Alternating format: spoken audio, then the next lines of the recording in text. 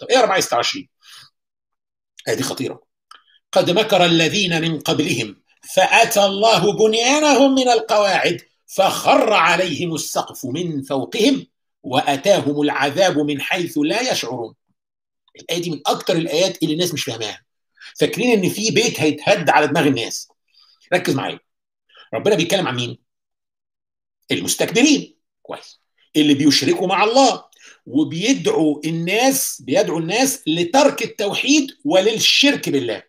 الناس دول مش قاعدين يتفرجوا على التلفزيون دول قاعدين يخططوا كويس إزاي يصرفوا الناس عن الإسلام. اسمع الآية. قد مكر الذين من قبلهم. قبل المستكبرين بتوعك دول يا محمد اللي موجودين معاك في الزمن بتاعك ده قبلهم في ناس مكرت قبل كده. وقلنا المكر هو التخطيط في الخفاء. وفي مكر سيء ومكر مش سيء مكر جيد. في سورة فاطر. ربنا بيقول في سورة فاطر ولا يحيق المكر السيء إلا بأهله. المستكبرين بيمكروا ليهدموا التوحيد ويقتلوا الأنبياء. والله يمكر لإفساد خططهم. فربنا بيمكر. يمكرون ويمكر الله. والله خير الماكرين. والناس بقى رافعة الحاجات دي اليومين دول عشان خاطر إيه؟ الآيات دي اليومين دول عشان خاطر موضوع فرنسا. عشان اسمه ماكرون. لكن في سورة آل عمران ربنا بيقول ومكروا ومكر الله. والله خير الماكرين. إيه بقى مكر الله؟ معقول حد؟ وهاجمونا الإسلاموفونز بيهاجمونا. دول عندهم ربنا مكار طب اسمع كده. إذ قال الله يا عيسى إني متوفيك ورافعك إلي ومطهرك من الذين كفروا. إذا مكر الله هو إنقاذ سيدنا عيسى. هم بيمكروا بسيدنا عيسى عشان يقتلوه ويصلبوه. ومكر الله هو المكر الجيد مش المكر السيء. تانيين مكر السيء ده مكر جيد. اللي هم هم بيتأمروا على المؤمنين وربنا بيمكر لهم إنه يفسد خططهم. هو ده المكر. مكر الله. في آخر سورة الرعد إحنا أخذنا إيه بقى؟ فيش من أسبوع. أخذنا إيه؟ وقد مكر الذين من قبلهم فلله المكر جميعا. احفظ الآية كويس. وقد مكر الذين من قبلهم فلله المكر جميعا. يعني مكر الله بيجيب من الآخر. المكر كله. اللي عايزين يشوفوا المكر بقى لا تعالوا اوريكم المكر بقى. مش زي مكركم الخيبان. في ضوء الفهم ده في ضوء الآية دي تعال نقرأ الآية بتاعت 26 دلوقتي. وقد مكر الذين من قبلهم. اسمع. فأتى الله بنيانهم من القواعد. هو ده مكر الله. هو ده المكر جميعا. مش مش الآية في سورة الرعد بتقول وقد مكر الذين من قبلهم والآية 26 بتقول قد مكر الذين من قبلهم. في سورة الرعد قد مك وقد مكر الذين من قبلهم فلله المكر جميعا. الآية 26 في النحل قد مكر الذين من قبلهم فأتى الله بنيانهم من القواعد. هو ده بقى المكر جميعا.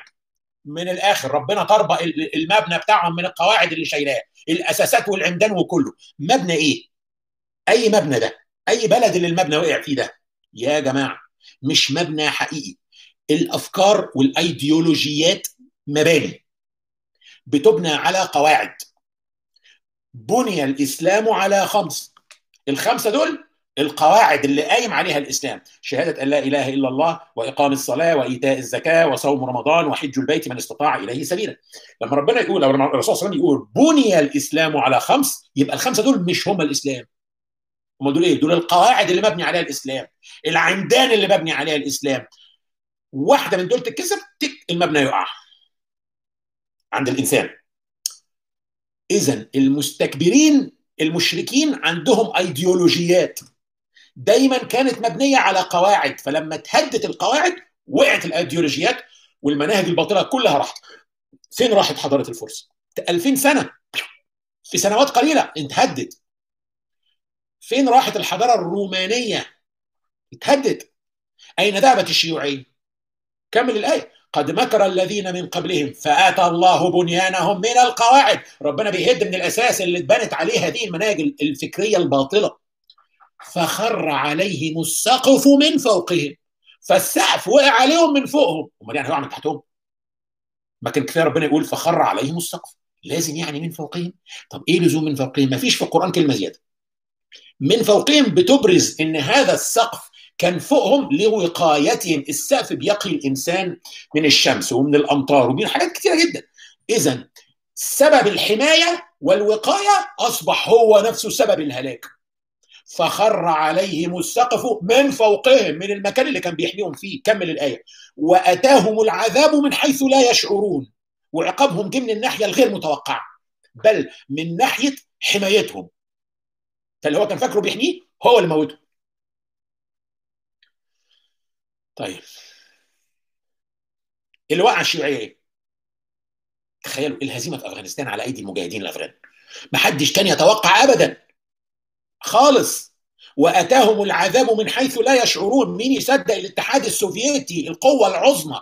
كانوا قوتين عظميين. أمريكا والاتحاد السوفيتي وما فيش واحدة فيهم أقوى من الثانية والاثنين طلعوا القمر. والاثنين عندهم تكنولوجيا. والاثنين عندهم أسلحة. والاثنين عندهم نووي والاثنين كانوا حلفاء وكسبوا في الحرب العالمية الثانية ثم يجي مجموعة من المجاهدين الأفغان يوقعوا الاتحاد السوفيتي. ما حدش كان يتوقع ابدا